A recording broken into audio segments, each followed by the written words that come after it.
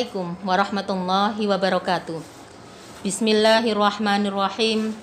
Alhamdulillahi rabbil alamin.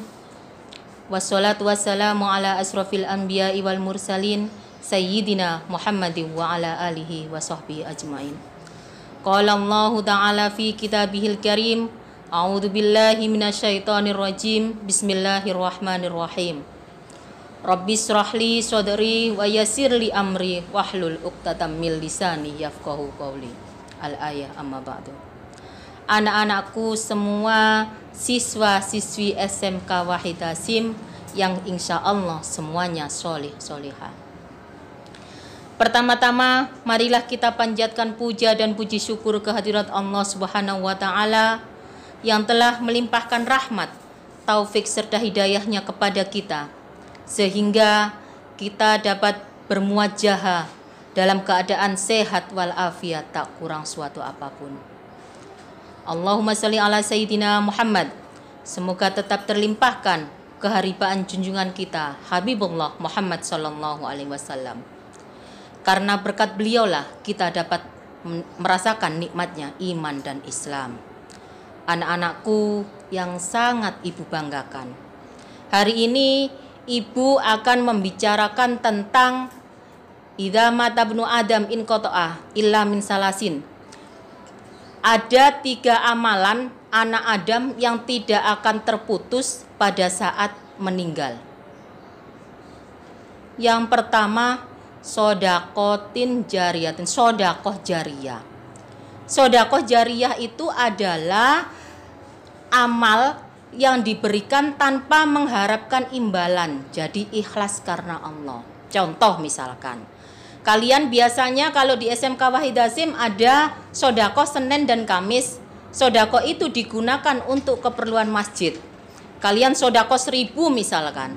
Nah dari hasil seribu itu digunakan oleh pengurus masjid untuk membeli misalkan keramik karena di masjid itu mungkin di Masjid Wahid Hasim keramiknya rusak misalkan dibelikan keramik.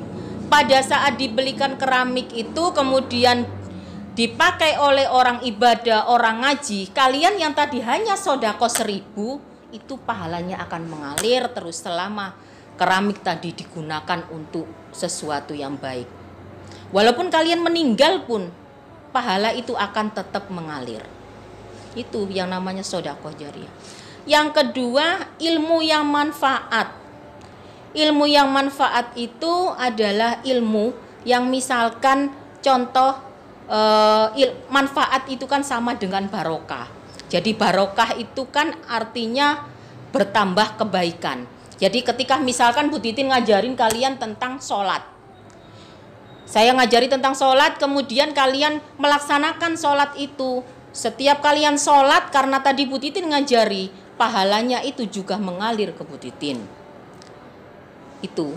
Jadi kalian kalau misalkan punya sesuatu ilmu walaupun itu hanya sedikit kamu amalkan. Siapa tahu dari apa yang kamu ajarkan tadi ke temanmu, ke adikmu, ke saudaramu, itu diamalkan oleh orang yang mendengar tadi, kamu dapat pahala. Itu yang namanya ilmu manfaat.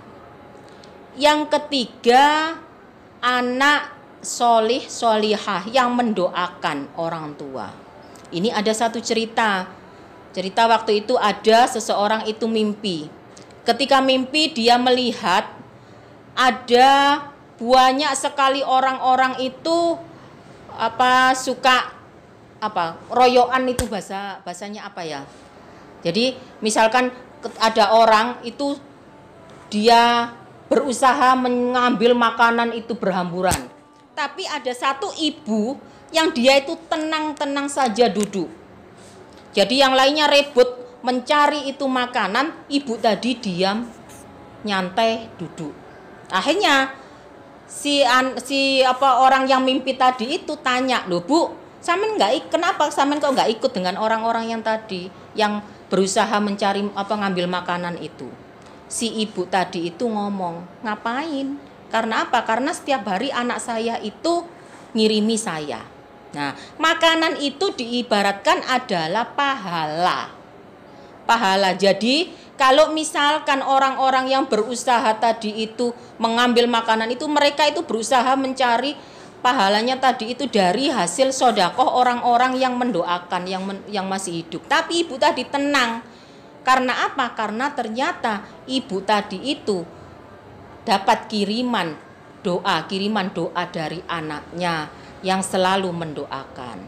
Nah, jadi orang yang meninggal itu nak tidak butuh apa-apa, tidak butuh makanan, tidak butuh harta benda, yang dibutuhkan adalah doa. Kita sebagai anak yang soleh solihah jangan lupa mendoakan ayah ibu kita yang sudah meninggal. Bu, gimana kalau yang masih hidup? Nah, justru mumpung yang masih hidup itu kita doakan, kita berbakti sama beliau. Jangan sampai kita menyesal. Kita akan menyesal baru setelah kita lihat bahwa di rumah kita ada bendera kuning, ternyata itu orang tua kita meninggal. Kamu ketika saat itu kamu menyesal tidak akan bisa kembali lagi ayah ibumu hidup. Jadi mumpung masih hidup, berbuat baik sama mereka. Contohnya, nggak usah terlalu muluk-muluk. Contoh misalkan, Ketika kamu lihat rumah berantakan, bantu membersihkan, membereskan. Kamu bisa lihat misalkan malam hari kamu masuk ke dalam kamar ayah ibumu. Kamu lihat di situ ketika ayah ibumu tidur, kamu lihat wajah mereka, kamu akan bisa melihat guratan-guratan wajah yang sudah mulai menua. Guratan-guratan rasa capek, tapi mereka tidak pernah ngomong karena apa? Karena capek mereka itu digunakan untuk mencari nafkah agar anaknya bisa makan, anaknya bisa sekolah, anaknya bisa punya HP, tidak tidak ketinggalan dengan teman-temannya. Nah, sebagai anak, kalau misalkan kita tidak bisa menyenangkan mereka, minimal jangan menyusahkan. Kalau kita tidak membantu, bisa membantu, minimal jangan membuat mereka repot Ya nak ya. Jadi ada tiga amalan yang tidak akan terputus. Yang pertama sodakoh jariah, yang kedua ilmu yang manfaat, dan yang ketiga anak yang soleh solehah. Mudah-mudahan dari pembelajaran kita hari ini kita semua dijadikan anak-anak yang soleh solehah, anak-anak SMK Wahid Hasim ini dijadikan anak-anak yang sukses dunia akhirat karena memuliakan kedua orang tuanya.